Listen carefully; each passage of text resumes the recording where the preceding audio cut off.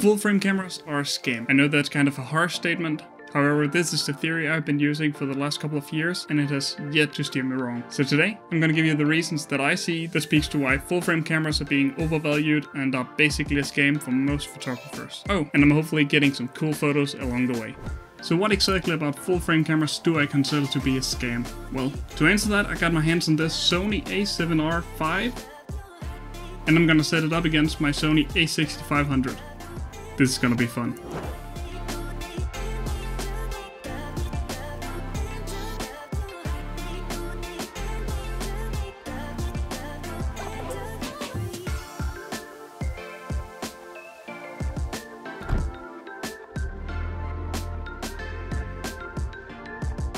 Okay, so before I get really into it, I want to say, of course, full frame cameras have their place, and of course, they create amazing images.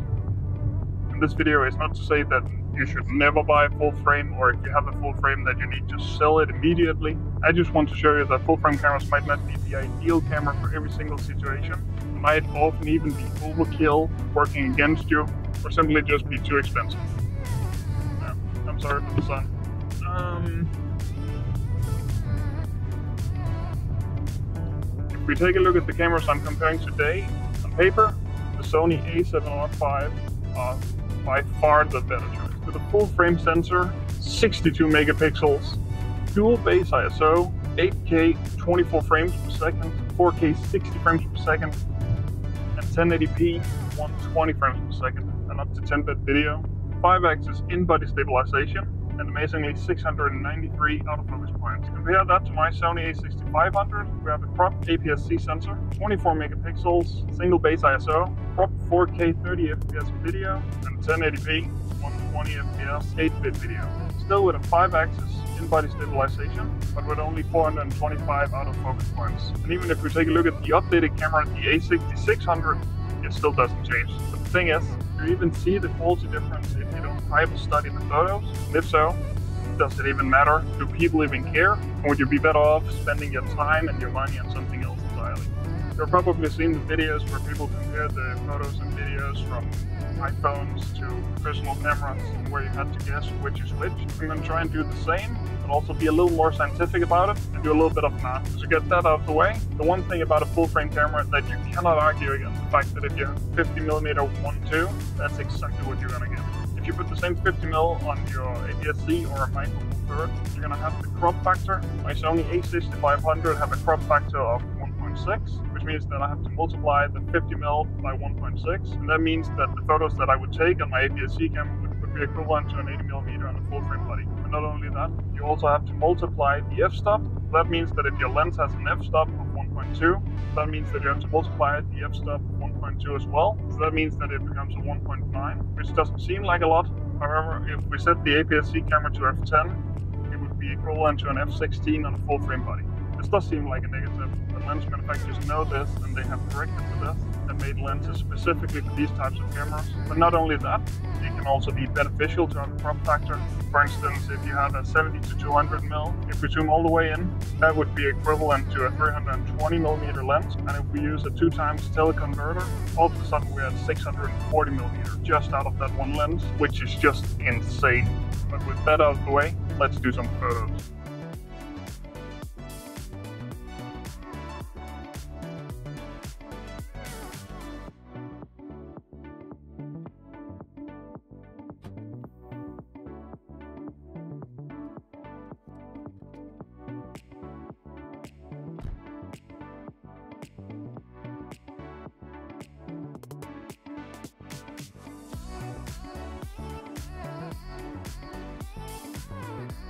All right, so here we have the photos. Can you tell which one of these photos are the full frame and which one is the APS-C?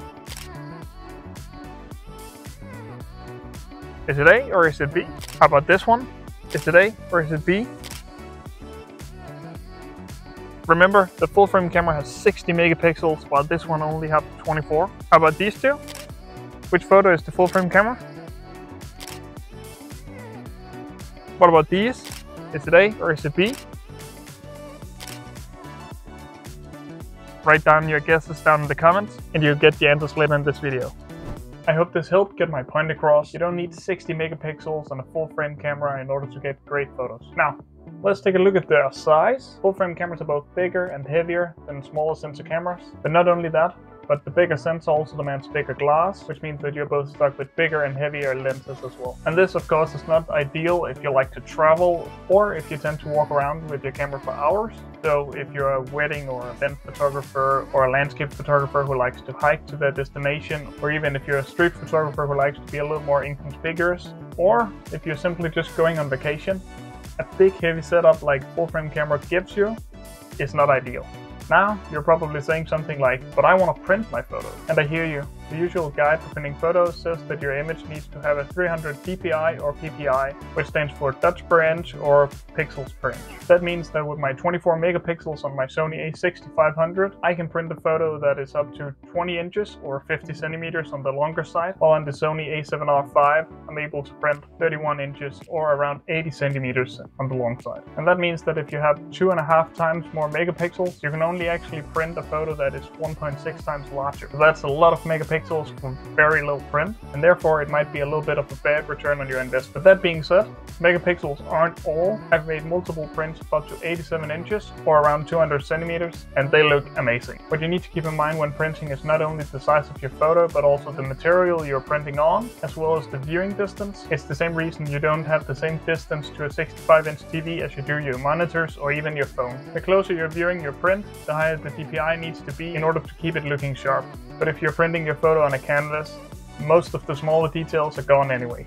If you've watched until now, you're probably still wondering what makes a full frame camera a scam. And that's because I've still not talked about price. I know you can get an expensive crop sensor camera, as well as a cheap full frame, but if we look at the same generation full frame cameras, as well as a crop sensor camera, the full frame will cost you more. And not only that, the full frame lenses will also be more expensive. The files on the camera will be way bigger, which means that you have to get faster cards.